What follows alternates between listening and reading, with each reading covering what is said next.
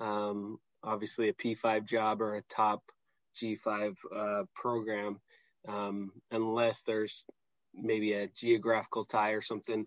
Um, as far as having Utah ties, I feel like every single Pac 12 team, with Utah being in the Pac 12 now, they understand recruiting Utah and they understand that Utah has good t- good players, right? Um, so I feel like that re that that footprint has expanded. Whereas when when uh, Coach Andersen got hired uh, the first time, Gary was like, you know what? There's there's players that are slipping through the cracks. I'm gonna grab these guys. I'm gonna grab uh, Frankie Sutera and let him walk on. I'm gonna grab Zach Vigil, who doesn't have any offers, and bring him in. Uh, whereas those guys now in the current climate, you know that those kind. I mean, I guess this this year aside, those types of guys aren't slipping through the cracks anymore. Um, Utah is is the state of Utah, and the the high school players are getting picked off um, from players. I guess from from uh, programs outside of Utah because obviously they want to steal those players from Utah and BYU and and like you know it's worked great for Washington it's worked great for Oregon I mean look at those rosters even Washington State has a bunch of Utah guys so I mean those guys used to fall to Utah State or to BYU or somewhere else and now I mean if you think about it Utah State you know, got some of those guys that were kind of Pac-12 good enough to play in the Pac-12, but they slid slid through the cracks. So that's not happening anymore. Um, you know, Arizona State, USC. I mean, every Pac-12 team is is coming into Utah to to recruit. So I, I think that's that's created. There's I'm not saying anything bad about Utah talent. I think talent. I think Utah State still needs to recruit in state but I think it's it's definitely changed. It's not we're not in 1996 anymore. So I think we can definitely, you know, Utah State needs to uh, think a little bit outside the box and not just 100%, um, you know, follow that uh, that blueprint. So how important do you think? I mean, I just I so I had this thought on Saturday. I was watching the. Uh, uh, I think it was, you know, some of these teams like Northwestern, and you watch some of these programs um, like Iowa State and Indiana, you look at these programs and they they have coaches that have have really changed uh, those programs and have really put their stamp on on their uh, on those jobs. So how I guess what what would be that formula I mean, I, what would that what would what would that formula be at Utah State, or what do you think about um, the importance of that when you're uh, considering uh, a candidate? Um, I think that's really important. I think the first time Gary kind of did that because I remember. Um, so the first Gary's first two years, I know we kind of struggled. I was actually on on my mission at that point, but when, when I came back, it's like it was awesome because we finally started winning. Um, we had that seven and six season, eleven and two. But but one thing I remember Gary Gary always said was like players win games, and so I think he yeah. tried to be he, he was more of a players coach.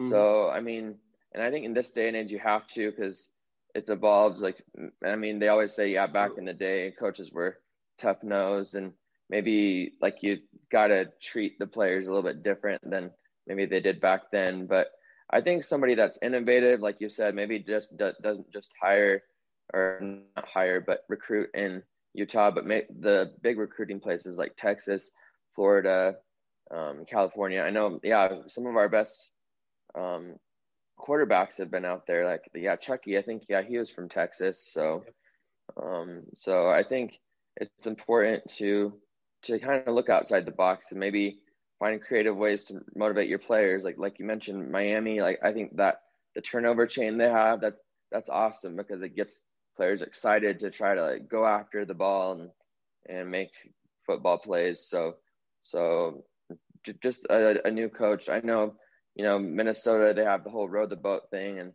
they're not rowing too well this year. But I mean, um, PJ Fleck, he he's done a great job. He did a great job at Western Michigan with that with that year that they went to the uh, a New Year's Six, and then yeah. ha- had a great year last year with Minnesota. So maybe just somebody that's willing to think outside the box, and may- maybe those things aren't super important, but sometimes it seems like little things do make the difference, and try to build that team unity because it seems like one thing that the Aggies were lacking in some of those losses is you could kind of see that yeah the team unity like it's kind of crazy what's happening now. But yeah if we can focus on the positive and try to find a coach that can be positive because it's a, the Aggies are, are, a little bit we have a little bit higher expectations. So it, it is a high stress job. So I think they'll have to to to avoid getting burned out like maybe some other coaches yeah. have and in similar situations they'll have to try to be positive and creative to to get the Aggies back on track where they need to be. Yeah, I mean the the reason why I if it was up to me, I would I would hire somebody young is because they think outside the box and they're they're hungry to win games and make make things happen, right? I mean, how many times in the last few years have the Aggies been really close but haven't really I mean, I'm thinking of Matt Wells in particular and Gary the first time is, you know, they didn't really um, I guess, go all out to to win some of those games. They just kind of said, "Oh, well, we'll we'll roll the ball out and we'll do our best and we'll we'll uh, give it our best shot and we'll have a, a, you know kind of measure our we'll have a measuring stick game against Washington or against uh, whoever you know Wisconsin or BYU or Utah or whatever, right? Whereas some of these young guys, uh, you know, I want I want somebody that's that's willing to take risks, go for it on fourth down at the 40 or 50 yard line or whatever, you know. I want somebody that's gonna that's gonna take some risk and and uh, and, and kind of do that kind of stuff, um, rather than just somebody kind of conservative or or smash mouth football or or whatever you want to call it, right? Um, I think at Utah State you may have to to do some different things, unique things to uh, to recruit and to uh, to win games. You know, I mean, you're going up against Boise. You know, let's take this year's Boise State game for example. You know, Utah State was was what a two touchdown underdog. You know, obviously they were going to have to kind of pull some things out. They weren't just going to be able to to to run a regular normal game or call a normal offense, they're going to have to pull some pull some stuff out of their uh, backside to uh, to get the win, right? Or you get a bunch of turnovers on on defense, maybe, or something like that, like the last time the Aggies beat beat Boise State. So, what are you what are you expecting to see through the end of this season from the football team?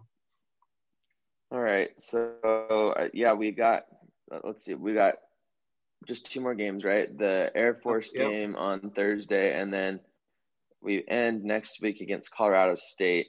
Yep. So, um, as far as results, I'm not entirely expecting wins because yeah. I mean, I mean, we just played the worst team and and we beat them and we did it pretty handily, but they're, I mean, near the end they were kind of trying to start to make a run as well. So I think um, we're gonna have to do a little better. I know Frank Maile, he's auditioning for for a head coaching position. I don't know if he'll end up getting it. I, I certainly he's an Aggie guy, so I'd love to see him get it. But um, I think if he can compete, that's that would be good. Um, but as far as um, let, let, me just pull up um, the Air Force game. This so our opponent this week, you know, Air Force was really, really good last year. They ran right. the triple option well. They've they've had a week off because their game got canceled versus Colorado State. They've had a lot of games get canceled, so they've only played right. four games. So I mean, the Aggies have maybe a little bit more experience. They they've had a lot of not so good experiences the first four games, but I mean, Air Force they dominated Navy, kind of similar to to I guess what BYU did to Navy. They did lose to San Jose State, which on paper looks bad, but San Jose State's no, good. They're good this year. So I mean, and they did lose to Boise State, but yeah, that's kind of expected. And they shut out New Mexico. So um, I'm, I, I hope, that it doesn't go as poorly as it did last year. I hope we can at least compete because last year it's kind of crazy, like to have an NFL quarterback, and I thought we had a lot more talent than we showed in that game and some of the other games. But um, as far as Air Force, it looks like they're favored to beat us at home. Um, oh, 80% chance for them. So it seems like mm-hmm. it's a the Air Force game will be a little bit harder for the Aggies. I think Colorado State's maybe a little bit more winnable. Uh, it seems like they're doing well this year. If I take a look here, they've, they've missed a lot of games too. They've missed a lot of games too. They they they lost to Fresno pretty bad, but I mean, so did we, and they beat Wyoming, which that Wyoming would have been a good measuring stick, but I did think the Aggies um, I don't know if they would have been ready to handle Wyoming because they were going through a lot. So I think that was almost a blessing in disguise to have the break from Wyoming. Um, but Colorado State head, got I beat. I, I think I just counted that as a loss. I, I kind of forget sometimes that that game got canceled and the Aggies didn't lose. But uh, but yeah, it's uh, I mean Wyoming and Air Force are just t- such tough teams that um, that's going to be tough for the Aggies. But I think um, I think these young guys are going to going to play really hard. Um, I'm just worried about some mistakes, obviously, and, and if the Aggies can score enough points um, to make up for those mistakes on defense, I think um, I think the Aggies could keep it close and maybe even pull out a win. But um, I'm excited to see the young guys obviously Peasley and some of the uh, the guys on offense as well. But that defense, I think, is I think I think the defense pretty exciting. I mean, based on what we saw against New Mexico, um, I think if Shaq Bond can kind of be the leader and and uh, Heninger, Heninger and uh, some of those guys can can uh, can play well and and obviously get those young young guys uh, playing well as also that would be um, that'd be a win in these last two games. So um, I think more than anything, I want to see some of those guys step up and uh, and get good some good experience. So anything else about football or coaching? No, I think that's great. Um, like you said, so one thing that's positive about not playing the Wyoming game is we get to keep the rifle another year, and mm-hmm. and you know I, I I I feel pretty positive. I think we we might win at least. It'd be nice to get at least one more win. I mean that it mm-hmm. kind of feels like a throwaway year a little bit with not going how as how we expected. Like without yeah. any Power Five teams, I w- it would have been nice to try to have a great year and and have a chance at uh, at a Mountain West championship and maybe an undefeated season. But yeah, I mean, now I think we got to just well, rekindle our expectations. Yeah, I mean the the thing is in college, there's no tanking, there's no benefit to losing all the games or anything. So more than anything at this point, it's just get get experience. Try you know try to get a couple wins. If you if you do, you do great. If you don't, you don't. Um, but uh, but I think it's good experience um, for the team and for the young guys, especially for the guys coming back. And uh, and I would expect the um, the new coaching staff to uh, to definitely try to get all the uh, the junior college guys and the transfers from other schools and different things to kind of uh, you know patch some of the holes that the uh, the that the Aggies have, and uh, and and hope that the young guys keep getting better. And uh, if if they do, I think it could be a pretty quick turnaround. I mean, there was one. I don't know if you saw the the tweet by Dan Sorensen who who runs the 24 uh, 7 sports um, site. I guess he's the publisher still. I don't know. If, if not, he's former publisher.